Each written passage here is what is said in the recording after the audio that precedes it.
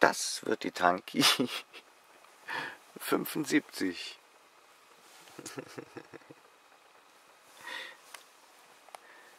Die werde ich wahrscheinlich erstmal für mich behalten. Ich weiß es noch nicht.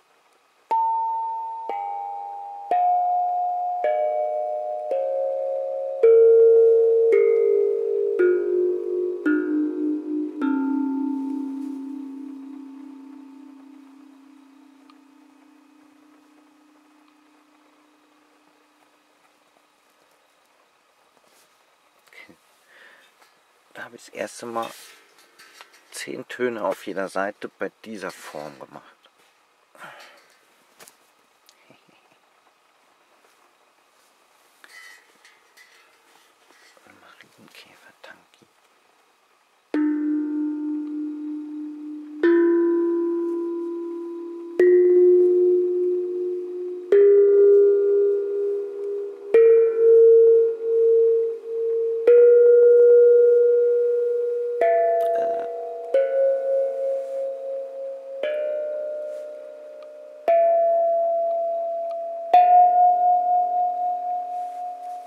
Die ist jetzt auch noch nicht fertig gestimmt.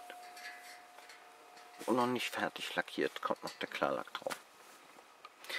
Ja, auch hier, wie immer, wer Interesse an einer Tanki hat, E-Mail-Adresse steht unten drunter und ihr findet mich unter www.stefanstankis.de und da seht ihr im Shop auch immer, welche verfügbar sind.